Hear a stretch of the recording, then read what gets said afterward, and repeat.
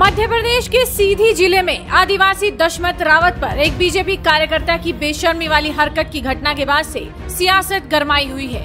BJP और कांग्रेस दोनों ने ही मामले में जाँच के लिए जाँच कमेटियाँ बना दी हैं। वहीं घटना का वीडियो सामने आने के बाद आरोपी को पुलिस ने गिरफ़्तार किया।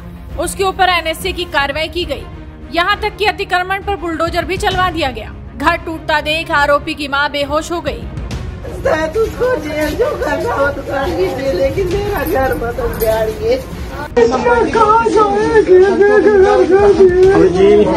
वहीं आज पीड़ित दशमत रावत भोपाल मुख्यमंत्री के निवास पहुँचे। यहाँ सीएम शिवराज ने दशमत के पैर धोकर और शाल उड़ाकर उनका सम्मान किया। सीएम शिवराज ने कहा कि मन दुखी है, मेरे लिए जनता ही भगवान है। सीएम शिवराज ने एक वीडियो ट्वीट करते हुए लिखा, ये वीडियो मैं आपके साथ इसीलिए साझा कर रहा हूँ कि सब समझ ले।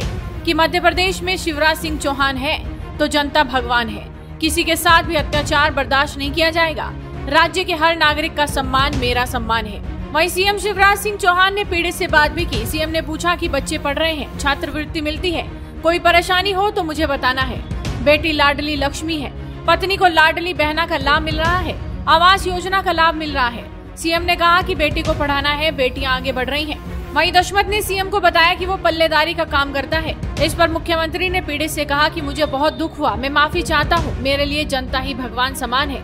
सीएम ने दशमत को सुदामा कहते हुए कहा कि तुम अब मेरे दोस्त हो। इसके अलावा एक और वीडियो सामने आई है, जिसमें गिरफ्तारी के बाद पुलिस कस्टडी में परवेश शुक्ला अकड़ कर चल रहा था। इसके बाद सवाल उठ रहे थे कि परवेश शुक्ला किसकी शह पर ऐसा कर रहा है?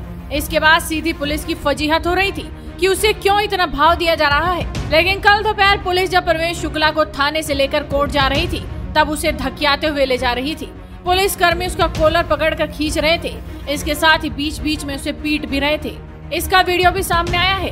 दरअसल फजीहत के बाद सीधी पुलिस ने प्रवेश शुक्ला की सारी हेकड़ी निकाल दी।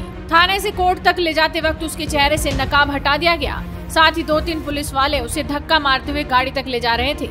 उसका बॉडी लैंग्वेज बता रहा था कि गिरफ्तारी के बाद पुलिस ने काफ़ी खातिरदारी की है।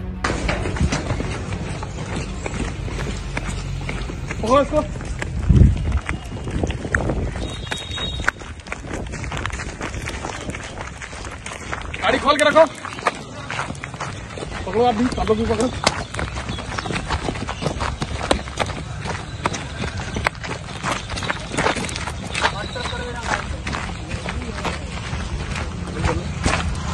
बैठाओ गाड़ी में बैठाओ गाड़ी में। बैठाओ गाड़ी में।